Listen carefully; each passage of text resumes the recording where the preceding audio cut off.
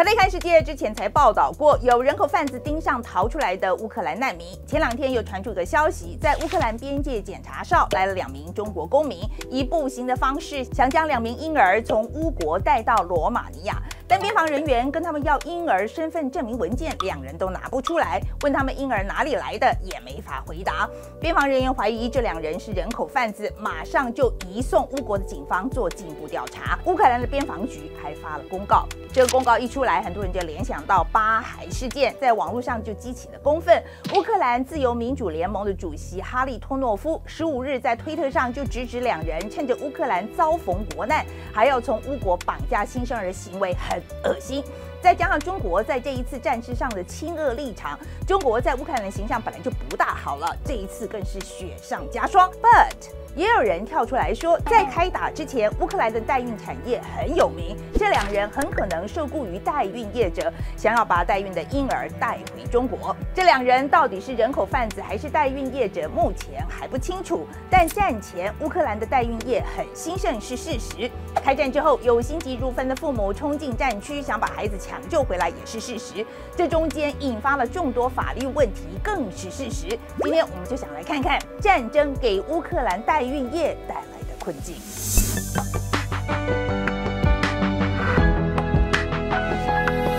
大家好，我是范雪，欢迎收看范雪的特别看世界。代孕就是帮别人生小孩。由于代孕牵涉的法律及道德争议非常多，只有在少数国家是合法的，乌克兰就是其中之一。还可以付钱请人帮你怀孕，叫做商业代孕，这在当地也是合法的。即使是外国人，也可以在当地寻求代孕。而且乌克兰相对来说经济又实惠，跟同样合法的美国一些州比起来，乌克兰代孕的价格便宜了一半，费用大约是四万到六万欧元，代孕者可以拿到一万七千五百。美金到两万五千美元的报酬，这在乌克兰算是很好的收入。根据估计，乌克兰每年有两千至两千五百名新生儿透过代孕出生，还有超过三千对夫妇把胚胎放在这里。也让乌克兰有了“欧洲子宫”或是代孕制度的称号。当二月传出有迹象显示俄罗斯可能入侵乌克兰的时候，当时有很多人，包括乌克兰人自己，都不大相信这件事会真的发生。当时乌克兰代孕机构还向客户保证局势稳定，没有问题。没想到二月二十四日，俄军攻进了乌克兰，还没有生下孩子的代孕妇女面临了困境，刚生下的宝宝卡在战区，在境外等待孩子的父母则心焦如焚。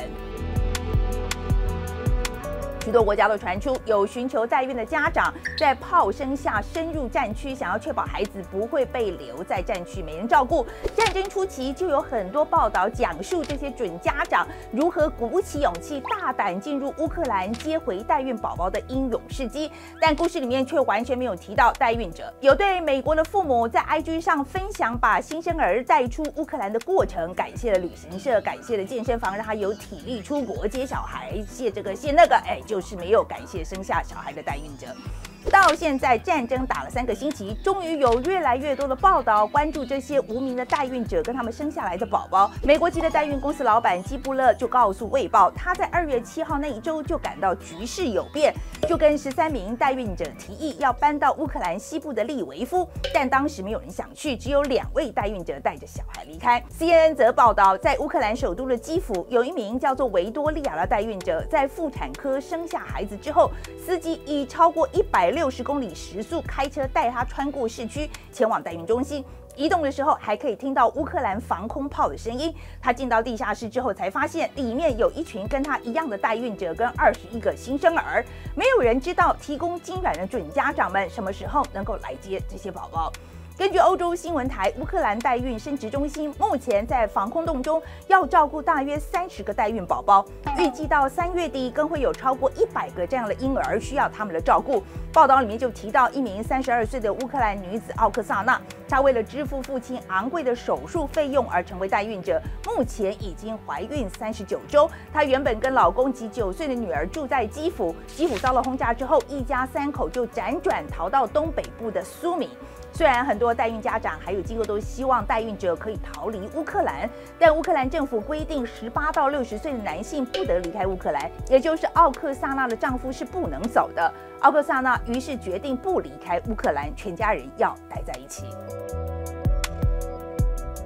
来自基辅的代孕律师丹琴科表示，俄罗斯入侵乌克兰第一天，他就跟家人一起逃到了乌克兰西部。这时候他收到最多的不是关心慰问，而是来自客户的大量 email 跟电话，问他相关文件 OK 了吗？出生证明可以加上这个吗？甚至用法律合约来施压，说要想办法把孩子交给他们。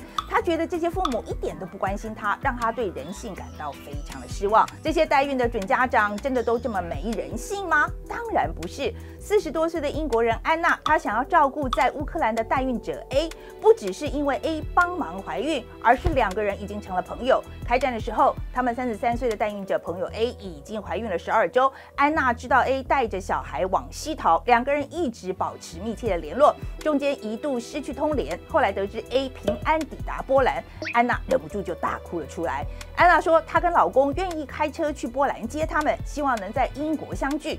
孩子出生之后，她也愿意协助 A 留在英国定居，但根据英国现行的法律，除非 A 在英国有可以依亲的对象，否则要合法居留很困难。英国各界还在为此努力。一位代孕中介业者也说，有些寻求代孕的夫妇一直要求代孕者逃离乌克兰，或是到其他可以代孕的国家，这在道德上是有问题的。凭什么这些准父母可以要代孕者搬家就搬家？必须要让代孕者有自己做主的权利。也有代孕机构指出，现在将代孕者以及透过代孕生下来新生儿送到波兰边境实在太危险了。更何况，目前绝大多数的欧洲国家明文禁止代孕，比如说意大利、德国、波兰、西班牙都禁止，在有些国家甚至会面临罚则。而且根据乌克兰法规，寻求代孕的父母必须要亲抵乌克兰，才能够确认新生儿的国籍。代孕者一旦离开乌克兰，他们就会变成新生儿。唯一合法的父母，对于代孕者来说，离开乌克兰之后要面临的问题还有很多。